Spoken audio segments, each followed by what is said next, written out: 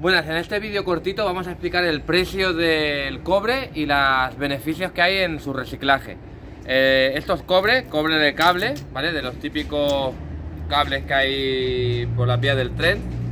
Y esto es eh, tubo, tubo de cobre de calefacción. Luego estaría el cable que hay dentro de los cables eléctricos.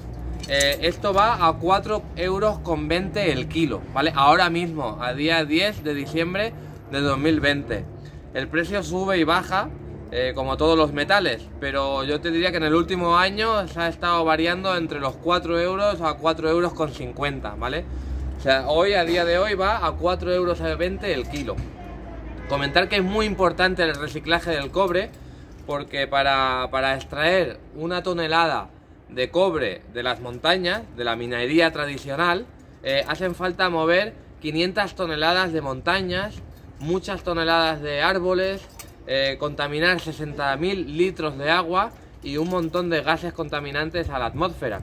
O sea que, sobre todo en cualquier tipo de metal, eh, su minería, eh, o sea, su reciclaje es mucho, mucho más rentable que la minería del producto primario, ¿vale? Entonces, pues bueno, comentar que intentar reciclar todo el cobre que podáis, y venderlo, que seguro que vais a encontrar algún chatarrero cerca de vuestra localidad que os lo pueden comprar entre 4, 4 eh, euros y pico el, kilo y sobre todo dependiendo también de la cantidad. No es lo mismo que vayáis a un chatarrero a vender un kilo que vayáis a un chatarrero a vender 500 kilos. Eh, y luego también por la confianza que tengáis con el chatarrero. O sea, si vais eh, una vez al año no es lo mismo que si vais cada día.